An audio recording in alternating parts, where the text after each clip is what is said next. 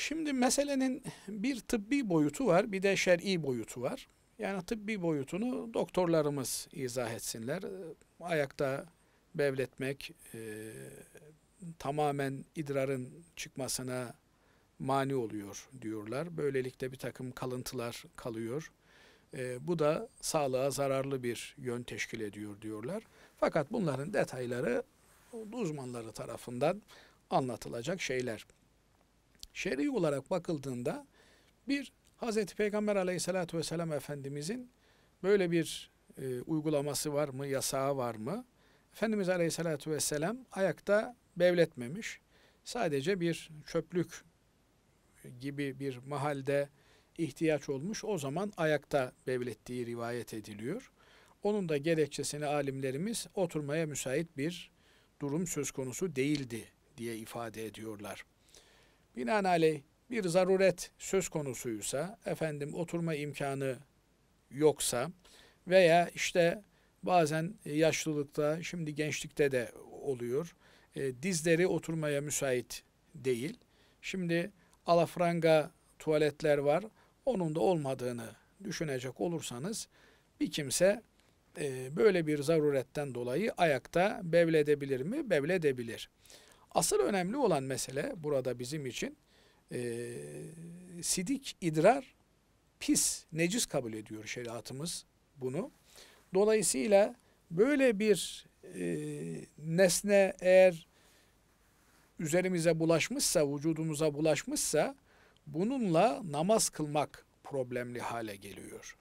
Binaenaleyh eğer ayakta ihtiyaç giderme mecburiyeti varsa ona göre tedbir almak lazım ki e, toprağa çarpan e, idrarın geriye dönmemesini, üzerimizi, çamaşırımızı bulaştırmamasını, efendim e, yine işlem bittikten sonra e, kalan kalıntıların e, iç çamaşırımızı kirletmemesini temin etmek, sağlamak gerekiyor. Eğer e, bir idrar bulaşırsa elbisemize veya vücudumuza böyle bir durumda necis olan bir elbiseyle namaz kılmak tehlikeli hale gelmiş oluyor. Nitekim Hz. Peygamber aleyhissalatü vesselam Efendimizin idrardan sakınmamakla ilgili çok e, ciddi uyarıcı bir hadisi bulunmakta. Efendimiz aleyhissalatü vesselam bir gün bir noktadan geçiyor. iki tane kabir var orada. Buyuruyorlar ki bu iki kabirde yatan insanlar azap çekiyorlar diyor. Buradan da anlıyoruz ki demek ki kabir azabı var. Buradaki insanların azap çekmelerinin sebebi sizce basit şeyler diyor. Yani bize göre basit ama demek ki şeriatımız, dinimiz bunu basit görmüyor. Bunlardan bir tanesi diyor laf getirip götürüyor, kovuculuk yapıyor.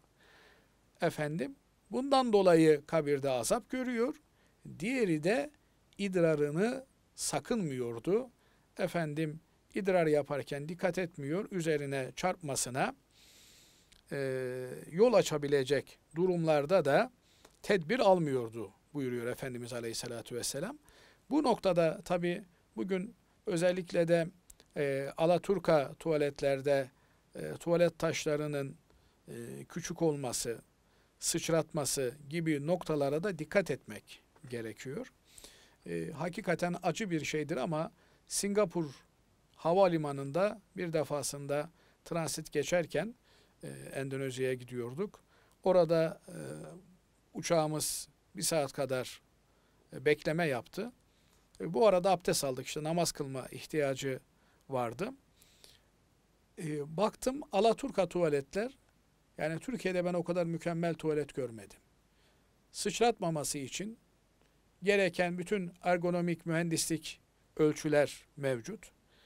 Ve e, işte bugün anti-splashing denilen sıçratmayan e, mermer türü de söz konusu.